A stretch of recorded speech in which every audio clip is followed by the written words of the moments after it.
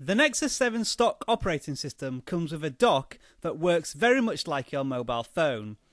It enables you to put six icons within a dock at the bottom of your screen that remains fixed even when you switch home screens. This is the ideal place to put your favourite apps so that they are accessible all the time. Moving icons in and out of the dock relies on the tried and tested method of long pressing. So, long press on an icon to either drag it in or out of a dock. Remember, the limit is 6, but you can have less if you want.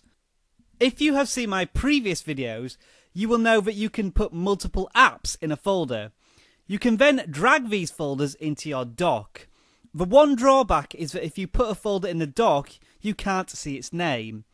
Also note that you cannot put widgets in your dock either. The icon in the middle of the dock is your app drawer, which acts as a shortcut to your entire application library.